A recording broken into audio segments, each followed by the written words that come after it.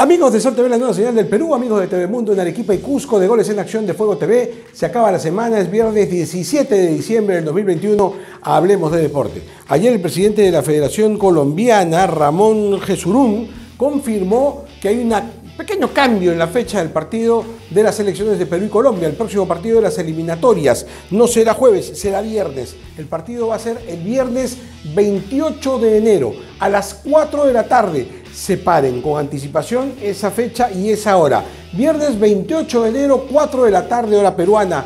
En Barranquilla se enfrentan las selecciones de Colombia y Perú por las eliminatorias mundialistas, partido trascendental para los dos equipos que están empatados en puntaje en la tabla de colocaciones. Mientras eso ocurría en Colombia, en territorio peruano se confirmaba que el partido contra Ecuador, que es la siguiente fecha, se va a desarrollar el primero de febrero, cae martes el martes primero de febrero a las 9 de la noche en el Estadio Nacional de Lima, Perú contra Ecuador. Así que apúntenlo en la agenda de una vez. El día viernes 28 de enero a las 4 de la tarde en Barranquilla, Colombia, Perú.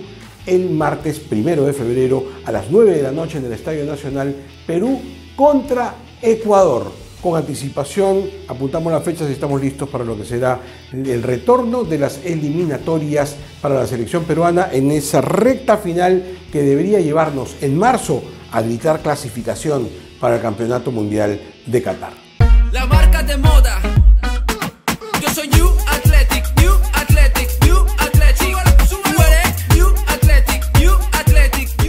En general ayer no ha sido un buen día para los peruanos en el extranjero. No suele ocurrir, ¿ah? pero los resultados no han sido buenos. A ver, eh, volvió a jugar Carrillo, un partido pendiente en el campeonato de Arabia. El Al Hilal perdió 2 a 0 con el Al Nazar. Le queda un partido pendiente todavía al equipo de Carrillo que se queda en el cuarto lugar de la tabla de colocaciones. Nuestro compatriota entró a los 28 minutos del segundo tiempo cuando ya perdían 1 a 0. Con él en la cancha se produjo el segundo gol en contra. El día lunes van a jugar pero por la Copa del Rey. También juega el Alfa T de Cueva que regresa a la cancha el día lunes por la Copa del Rey. Ayer también hubo... Eh, hubo, a ver, por la Copa de la Liga de Emiratos Árabes Unidos jugó Cartagena, no, no pudo ganar, empató el partido. 3 a 3 fue el empate entre el Al Ittihad y el Al Jazeera. Son partidos de ida y vuelta, este era el partido de ida, así que falta todavía la vuelta que se da en condición de visitante. Cartagena estuvo en la cancha hasta los 15 del segundo tiempo. Cuando salió, perdían 3 a 2. Después, con penal, empataron 3 a 3 el partido. Y para completar una mala racha peruana el día de ayer, eh, el equipo de Granada, el equipo de Abraham, fue eliminado jugó contra, eh, en la Copa del Rey contra el Mancha Real y perdió, perdió 1 a 0. Abraham jugó lateral izquierdo solo medio tiempo. Lo cambiaron en el entretiempo, pusieron un delantero, pero igual Granada no pudo eh, evitar la derrota por 1 a 0. Va a haber más fútbol entre hoy y el domingo habrá más peruanos jugando. A ver, les cuento. Hoy día, por la Liga Española, va a jugar el Celta de Vigo. El equipo de Tapia juega contra el Español a las 3 de la tarde. Partido difícil, Español está bien en la tabla. Eh, por la misma Liga Española, el día domingo juega otra vez el Granada. El equipo de Abraham va a jugar contra el Mallorca, eso será el domingo a las 8 de la mañana. Pero hoy juega el equipo de Tapia. Hoy. Hoy también juega el equipo de Araujo, estamos hablando de los Países Bajos. El Emen va a jugar a las 2 de la tarde hoy día contra el MBB. Eh, un campeonato, un partido por la vigésima fecha del campeonato de segunda división de Países Bajos. Y el día domingo, a las doce y media, por la segunda división italiana, un partidazo se espera comparten la cuarta casilla, están con igualdad de puntajes. Benevento con mejor diferencia de goles, pero están parejitos. El Benevento de la Padula enfrentando al Monza, un partido que va a las 12 y media del día domingo. Y ese mismo domingo, ya les he contado que a las 8 de la mañana juega Granada-Mallorca, y ese domingo tempranito, a las 7 y 45 de la mañana, por la Copa de Francia, no es por la Liga, sino por la Copa de Francia, el Saint-Étienne de Trauco enfrenta al Sporting Club de Lyon éxitos para los peruanos en sus actividades de este fin de semana. Eso es el alcohol que para los hermanos. Ah, muy bien. Ya lo hice previamente antes que usted saliera. Gracias, muy amable. Hasta luego.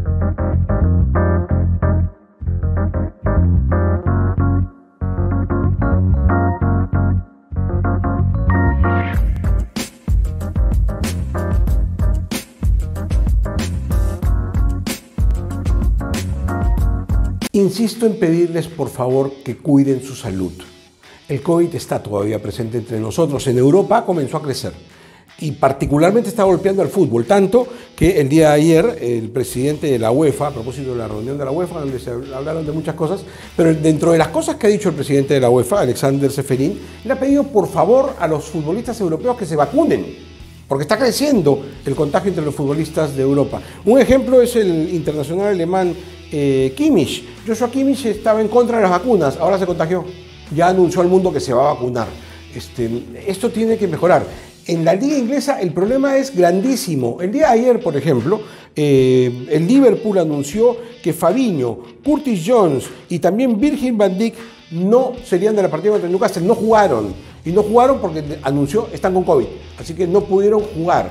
Esto ha aumentado el problema en la liga inglesa. Se han suspendido cinco partidos para el fin de semana en Inglaterra porque se ha reportado esta semana 42 contagios entre futbolistas y empleados. Esto que les estoy contando ayer no solamente ocurrió con Liverpool, ha ocurrido con otros. El, problema en el Manchester, por ejemplo, es aparentemente mayor, ¿no es cierto?, el Manchester United.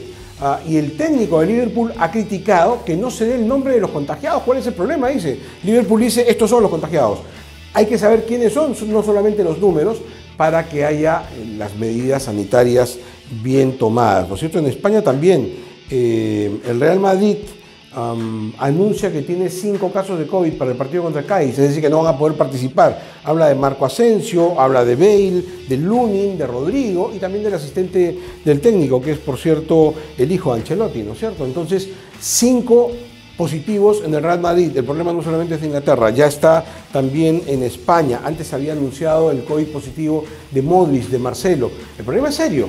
Este, no se ha ido el COVID, está todavía entre nosotros. Si comienza a subir en Europa, cuidémonos en Perú también, por favor. A propósito de Europa, se hizo el sorteo para lo que es la Liga de las Naciones en Europa, que es un campeonato distinto a la Eurocopa, ¿no es cierto? Los cuatro grupos de la zona han quedado conformados así. El 1, Francia, Dinamarca, Croacia y Austria. El 2, España, Portugal, se van a enfrentar, Suiza y República Checa. El 3, un grupo impresionante. Italia, Alemania, Inglaterra y Hungría. Y el 4 estará conformado por Bélgica, Holanda, Polonia y Gales. Información del fútbol europeo. Contabilidad Financiera es una consultora que brinda servicios de outsourcing contable, tributarios y de planilla. Somos profesionales con más de 15 años de experiencia en el mercado. Somos Contabilidad Financiera y buscamos la mejora continua de su negocio. Y para irme, voleibol comenzó ayer el campeonato de la Liga Nacional Superior de Voleibol Regatas Lima. Amplio favorito le ganó al debutante Grupo Swan por 3 sets a 0, 25-15, 25-23, 25-17. La novedad, contrario a lo que yo les dije ayer, es que no hubo público y es que se ha anunciado que en estas primeras fechas no habrá público por el COVID por estos problemas que, están ocurriendo. Por lo menos hasta enero no habrá público en, los, en, el torneo de liga. Un comunicado de la Federación Peruana de Voleibol en ese sentido. De todas maneras, el campeonato continúa.